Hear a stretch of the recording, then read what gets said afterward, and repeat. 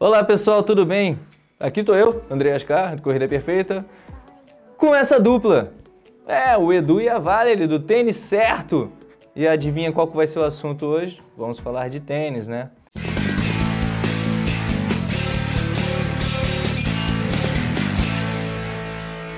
Bom, galera, muito obrigado pela presença de vocês aqui, para esse nosso bate-papo, para a gente tentar solucionar a maior pergunta de todas que chega para gente.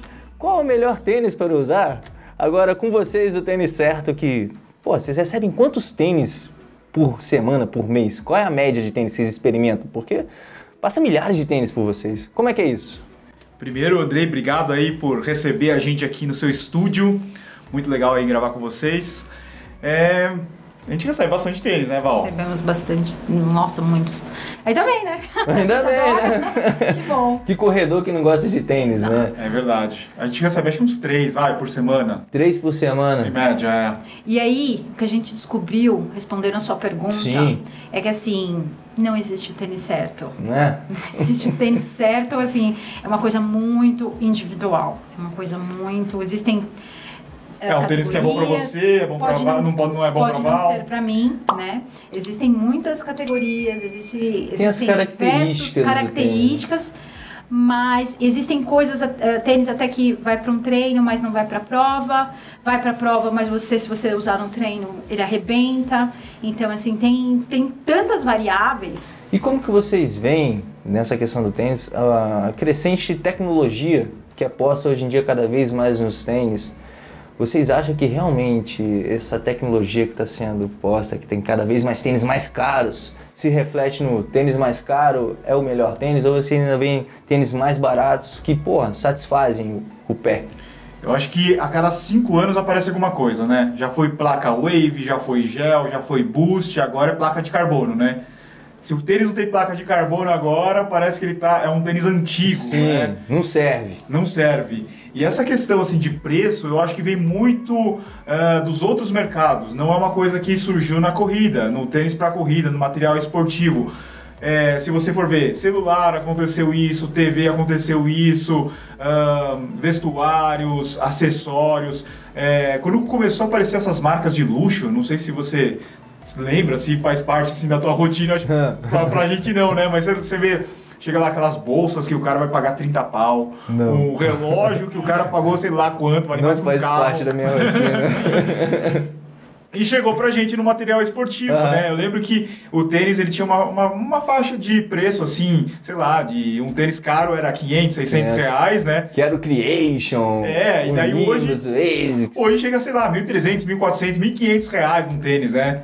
Virou um negócio Famoso. assim bem eh, elitizado para poucas pessoas. Só que eu acho que é, é interessante porque é uma pelo lado assim do, do negócio é uma coisa interessante, né? Você acaba ah, Puxando. puxando e, e, e você cria essa a gente, estaria- a gente não estaria falando desse assunto se não tivesse esses produtos, né? Sim. É, mas o tênis eu acho que é um fetiche do corredor, né? É, principalmente aqui no Porque, Brasil. É, de você colocar o tênis no pé e correr. Sim. Sim. Como é que você corre? Não, qualquer um corre, coloca um tênis no pé e corre. Mas ninguém corre sem tênis, não. Né? É. A gente já cria essa coisa na mente que você precisa de um tênis para correr. Exato. Aí depois quando você coloca o tênis no pé, você vê que o tênis começa a te incomodar, né? É. Aí eu preciso de um tênis, mas não esse tênis. Eu preciso do tênis certo. Uhum. Qual é o tênis certo? Qual é o melhor tênis? Qual é o tênis que vai fazer correr mais rápido, que nem correr que nem o Kipchoge? É. Aí o cara, pô, qual que é o que o Kipchoge tá usando? É aquele. E cara, dentro dessa questão, dessas características do- dos tênis, que cada um, pô, tem tênis com mais amortecimento, tem tênis mais flat e tudo mais. Como vocês fazem as análises desses tênis que vocês recebem? Dos testes? Como é que você vê, pô, esse tênis ficou legal no meu pé, eu tô sentindo mais aqui, esse aqui aperta um pouco mais ali. Como que é isso? Dentro do nosso conteúdo a gente tem alguns tipos de vídeos diferentes, né? Você vai ver que tem unboxing, porque eu acho que é muito importante a gente passar as características antes da gente falar a nossa opinião, Sim. né? Porque é, se você perguntar para um amigo seu qual tênis que ele gosta, e daí você vai lá e compra o tênis que esse teu amigo indicou, você vai falar assim, putz, esse cara falou um tênis que ele gosta e pra mim não serviu, como você disse, ele vai incomodar, né? Uhum. A gente tem um problema aqui no Brasil, é que o tênis é um produto caro, né? E não dá pra você ficar experimentando vários modelos, né? O que é diferente nos Estados Unidos. Você experimenta, você pode ficar um mês com o tênis e falar, não, não quero, quero É. outro. O cara vai lá e troca pra você sem problema nenhum. Até pelo nosso poder de compra, né, do brasileiro. A gente não pode comprar um monte de tênis. Você vai ver, tem tênis que custa mais do que um salário mínimo. Né? O americano, o europeu, ele trabalha um dia lá, ele já consegue comprar um tênis. Então a gente tem esse problema aí de poder experimentar. Então acho que a gente indicando nos nossos vídeos as características primeiro, o cara já fica atento. Pô, o tênis é leve, o tênis é flexível, o tênis é macio, o tênis é firme. Então, ah, dependendo das características da sua preferência, já é um bom indicador, E né? o Edu já fala da dureza do tênis, fala se é, se tem, se é um tênis que é mais confortável ou não, já fala peso, é, vai passando todas as características daquele tênis que a pessoa já fala, opa, É. isso é E legal. uma coisa também interessante, eu não sei se realmente não sei se vocês chegam. Quais são os passos que vocês fazem? Tem um unboxing, tem a questão de você experimentar e falar. Tem algum outro passo, tipo 100 km com tênis, olha como que o tênis ficou. A gente já fez alguns vídeos assim, a gente tem. A gente, lógico, todo mundo tem a preferência, né? Cada um tem a preferência assim, Não, de só alguns sobre a modelos. da resistência do próprio Sim. tênis, né? Porque quando o cara vai investir um dinheiro, ele quer saber. Porque outra pergunta que chega muito é: pô, o tênis dura quanto? Qual é a validade de um tênis? Mas é né? muito relativo também, é muito né? relativo. Sim. A gente sempre observa, assim, ah, o tênis que tem a borracha embaixo muito mais forte, né? Então você começa a observar algumas características do tênis e fala, pô, esse aqui é um tênis bom para rodagem, né? Então é um tênis que tá mais. Agora, se você pegar um outro que, que é específico, que tem uma espuma quase nada de proteção, ele vai arrebentar rápido, né? Que é muito. Normalmente é, te- é um tênis para prova, é um tênis para pista, né? Um tênis o cara. muito responsivo, ele pode Ele é perder com muita facilidade o molde exatamente. dele, né? Que esse é o Exatamente. grande problema. E eu acho assim que é, varia muito, né, de corredor para corredor, depende do peso, depende da se a pessoa arrasta muito, ela freia muito, Uhum. é, de onde ela mora, se é um lugar muito quente. Se o tênis vai durar ou não piso, vai É, durar. se vai durar ou não, né? Agora, o é uma, que- uma, uma pergunta difícil de responder. É, mas eu acho que o que mudou né, do- dos brasileiros é o seguinte: antigamente os corredores antigos tinham um, dois, te- dois pares de tênis e só, né? Hoje as- o pessoal quer experimentar, quer conhecer, tem cinco, seis, sete, oito. A gente tem pessoas que, que mandam fotos, conversam com a gente, que saiu, ele- eles têm, a, coleção deles deve ser maior que a nossa, porque assim, é saiu o cara já quer, já tá às vezes, na- nós não recebemos, o cara de já... experimentar, né? Sim, é por é aquilo, o cara quer, ele gosta, né? Então ele Cara, e esse negócio do gosto, né? Quando a gente vai falar de tênis, que a pessoa acaba se identificando muito com a marca, Nossa. né? Ela vira um fã Fã da Adidas, da. Nike, Mizuno, Parece esse... time de futebol, Exato, né? torce, né? Se identifica pela... Parece que o pessoal começa assim com Mizuno, Aham. com ASICS e é super fã. Aí migra pra percebe, ah, eu vou mu- mudar alguma coisa, vai pra um Adidas. Aí depois vai para uma vai para Nike. E aí vira fã da, da marca e se você falar, nossa, fica Não, bravo. mas pra mim o melhor é esse. É, melhor, Pô, é. experimenta aí, experimenta aí. O cara tenta até te convencer, né? Sim, Vai lá, cara, pô, esse tênis é bom. E às vezes você fala alguma coisa no canal, as pessoas ficam bravas, Mas assim, acho- né? Acho que é mais time né? Adidas e Nike, né? É, time Nike. É tipo Adidas. o time Apple e Samsung. Né? Aham.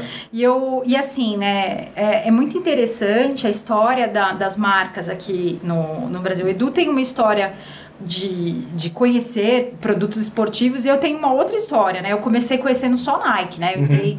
Comecei a virar influenciadora da Nike, virei, né? Me tornei em 2016 influenciadora da Nike. Então eu conhecia só Nike. Então eu era Só assim, Nike. louca por Nike. Então eu falava alguma coisa de. Eu já ficava nervosa, né? Não, Nike é melhor. Nossa, Pô, tá doido? Tecnologia Então, mil foi- anos à frente, os Foi caras estão muito fazendo. tudo. difícil. Co- Há um ano eu tô no tênis, no tênis certo. Então, até pra migrar foi assim difícil. É que O mundo nem- é maior. É que nem remédio, falava né? Tem isso. que desmamando. o mundo é maior, para. É. Né? E aí eu comecei a observar que, assim, realmente, o mundo é maior, tem mil opções, né?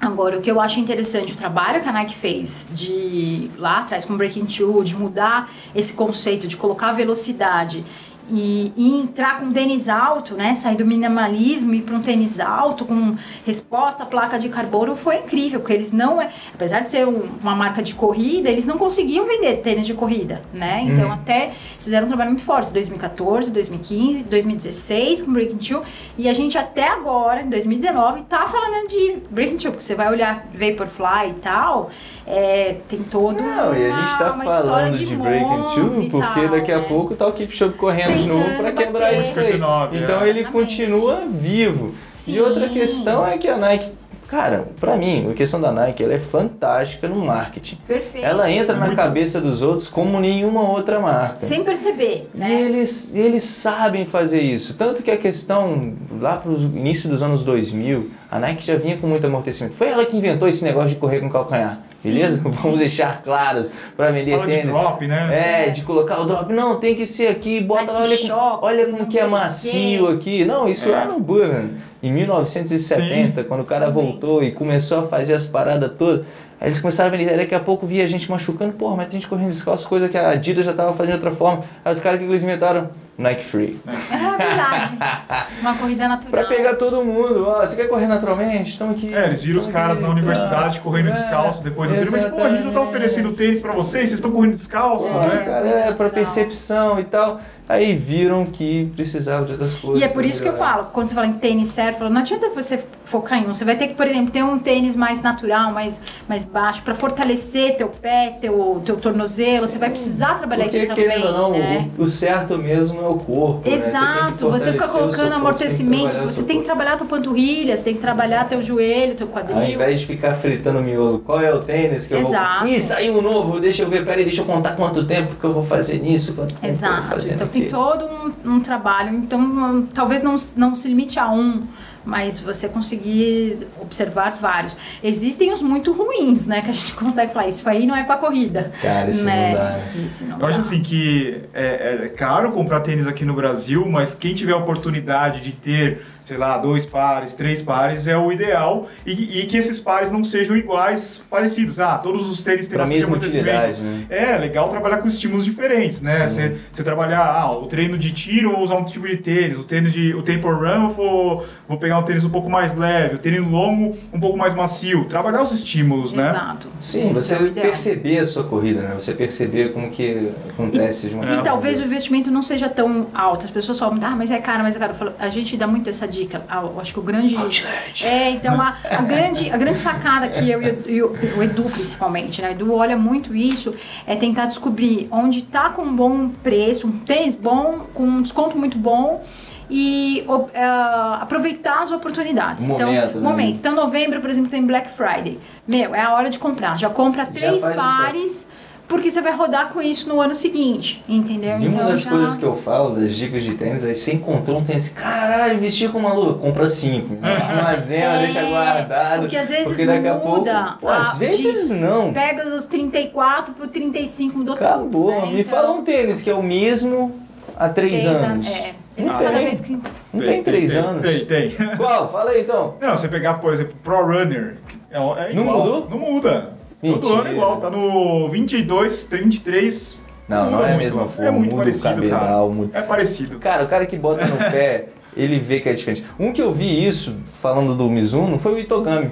Eu me amarrava no Itogami, Itogami. cara. Peguei o Nossa. Itogami 2, fui tal, porra, maneiro, 3, porra, legal, mas já era, preferi o outro. É. Aí daqui a pouco lançaram outro, ah, nem o que quero que é isso outro. aí? Cadê o Outlet? Vamos dar aqui o tênis de volta. Cadê ele? Descaracterizou. Ó, uma coisa que- cara, vai mudando o tênis. Esse negócio de comprar o tênis com promoção. Se você comprar quando você precisa do tênis, provavelmente você vai pagar mais caro. Sim, Sim. Né? Você tem que comprar quando tá barato. sim. Não quando você precisa. E E é isso que talvez o corredor tenha que entender, sabe? Colocar no, no- quando ele entende, por exemplo, vou fazer um ciclo de maratona para um tênis de maratona ou qualquer, qualquer que seja o triatlo, enfim. Vamos colocar em uns seis meses, tá? Então ele já tem que pensar nisso lá na frente. Então são seis meses que você vai gastar muito o, o teu tênis, né? Então pensa nisso lá na frente, coloca uns dois, três, compra na promoção, você vai embora. Você tá vendo como que a corrida ensina pra vida? Muito. Na corrida, para preparação para maratona, você tem que se planejar assim na sua Planejamento. casa. É planejamento para tudo, né? Planejamento. O que a gente faz no Se pequeno. você a gente fizer na emergência, vai pagar caro, não tem Sim, jeito. Na emergência é sempre mais caro, É. né? Então bora, Edu. Tá há quanto tempo já com o tênis certo? Edu? Completou quatro anos agora em setembro. Ganhando três tênis por semana. Imagina só. Como é que tá esse estoque aí, cara? Você tem noção de quantos tênis Eu não tem? tenho a mínima ideia. No começo eu organizava, assim, deixava a caixa certinha, marca por marca. Agora não, agora já. Chegou, joga lá, bota em box. Tem muitos que você nem botou no pé, então, pra correr, né? Então, eu acho que isso é um negócio legal hoje do canal. Hoje a gente tem a possibilidade de fazer uma curadoria Aham. e a gente vê que o tênis não vale a pena a gente postar, a gente acaba segurando ele. Uhum. A gente, meu, a gente não vai ficar gastando vídeo pra tomar crítica, depois o cara vai lá, ele compra, por, porque a gente acaba influenciando na, na compra do tênis, né? Então a gente fala assim, meu, melhor nem colocar esse tênis aqui no canal, porque o cara vai comprar e depois ele vai reclamar com a gente, né? Em vez de reclamar com a marca, com o que parece que a gente indicou pro cara, É. né? Mesmo a gente não falando pro cara, compra esse tênis, é sua. tem uma responsabilidade. Então a gente acaba fazendo essa curadoria e alguns modelos acabam não indo pro canal. Então, e ao invés de você aumentar a sua sala, ter que se mudar pra uma casa maior, o que, que você vai fazendo? Doa o tênis, não doa? Pessoal carente? Como é que faz com esse estoque, A digamos, gente faz bastante ocioso? doação, né? Quando chega. Tem tênis que a gente usou três vezes, tá muito novo, né? A gente Sim. acaba fazendo uma doação. Só que a gente tem um critério para doação. Não Sim. pode ser parente, vizinho e seguidor inscrito. Senão Pô, vira fila, pô. Aí você tá diminuindo a sua, a sua lista de seguidores, pô. Não, mas é legal, é legal que tem muita gente que não conhece a gente, né? O cara nunca viu a gente no YouTube e o cara corre muito, o cara treina muito. Essas pessoas são legais. Você vê que o cara abre um sorriso assim pra você. Porra, cara, que satisfação, né? É. A gente, é, a gente sempre procura pessoas que. Acho que todo mundo merece, mas aquela, aquelas que a gente fala, essa aí realmente merece um Sim. estímulo. E as né? instituições, como vocês veem as instituições? A gente não vê assim instituição, a gente vê um corredor lá, a gente conhece na prova, vê que essa pessoa merece mesmo, ela é esforçada. Aham. Eu acho que essas pessoas são legais. Toma um tênis aí pra você. Calça quanto, cara? Porque tem que ser o É, pé do mesmo tamanho do seu, né? tamanho. É, gente, 41 ou não, 35. Eu, eu tenho uma, uma corredora que, eu, que eu, eu admiro muito e eu terminei uma prova, ela tava- eu vi que o tênis dela tava super assim, né? Aí eu cheguei e falei, meu, quanto que você calça, qual é o teu número, né? Deixa eu te ajudar. Eu achando que eu ia dar um tênis, alguns, né, pra ela. Aí ela, 41, eu falei, vixe, vai dar, 41 é o. Edu. Pra mim, né? É o Edu. Aí eu chamei Pô, o Edu bom, lá. Então, assim, sempre tem. Tem. Tem. É, bom, bom, pelo menos vocês recebem tênis que cabem no pé de vocês. Porque um tempo aqui eu recebia tênis que não cabia no meu pé. Eu falei, beleza, eu vou experimentar o seu tênis, pode deixar, pode deixar. Manda de volta esse negócio. Bom, gente, que satisfação recebê-los aqui para falar sobre o tênis certo e a gente levar pra galera aqui esse negócio de tênis certo não existe, que é o pé de cada um. Você tem que ter a consciência como é que tá pegando aqui, pegando ali e pra que que você tá querendo esse tênis, pra onde é que vai. Ó, e eu vou além. Eu acho que o tênis certo não, não existe. O que existe é a corrida perfeita. Ah. Que encaixe um tênis certo para sua corrida perfeita. Sim, e lembrando esse negócio da corrida perfeita, que a corrida perfeita não é um númerozinho, um ângulo, um pé que tem que cair lá. É uma corrida fluida, saudável, longe de dores e lesões, onde cada um tem o seu objetivo dentro da corrida. Não é? Então, galera, como é que encontram vocês? Muito fácil, tênis certo no YouTube, no Instagram. E depois a gente tem os nossos Instagrams pessoais, né? O meu é Edu Underline Suzuki. E o meu é Valerie Underline Melo com dois L's. Mas procura lá o tênis certo, tem Tênis vídeo certo. toda hora, tem vídeo sobre tênis, dá uma olhada lá.